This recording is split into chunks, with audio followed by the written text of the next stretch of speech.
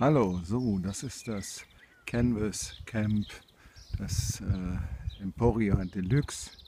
Ne, das ist das mit dem eingefassten Boden, den man mit dem Reißverschluss raustrennen kann. 6 mal 4 Meter, 3 Meter hoch. Ja. Schauen wir uns das einfach mal an. Ja. Auf jeder Seite gibt es ein Fenster. Ne? So, jetzt gehen wir auf die andere Seite. Hier wäre sogar ein Eingang möglich. Ja. Und hier ist sozusagen der Haupteingang. Ja. Also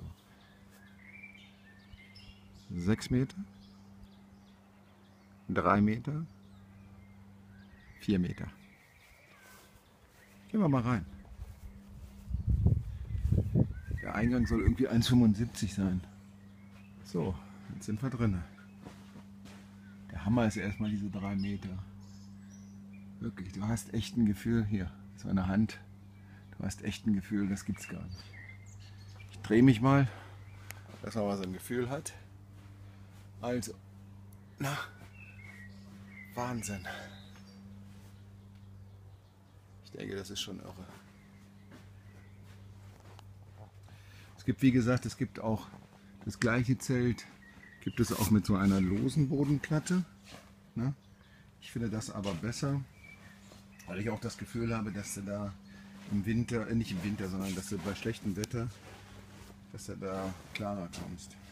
So, ansonsten Stangen. Es gibt dreimal dieses A für die Eingänge. Ne? Werden hier unten reingesteckt. Und dann immer einmal hier oben durchgeführt durch eine Öse. Gibt es auch noch eine Regenkappe für. So. Das war's. Ja. Um mal so ein Gefühl zu geben, wie gesagt, das sind 4 Meter. Und von da bis da sind es 6 Meter. Und das ist der Luftraum.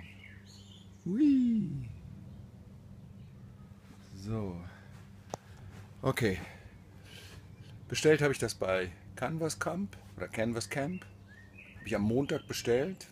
Und man mag es nicht glauben, einen Tag später ist es mit UPS geliefert worden.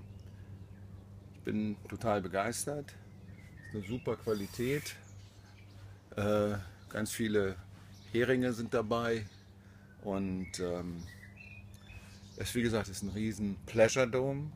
Aber ähm, ich bin wirklich bisher ganz angetan von dem Teil. Also, viel Spaß und mal sehen, wie dann der Urlaub wird damit. Ciao.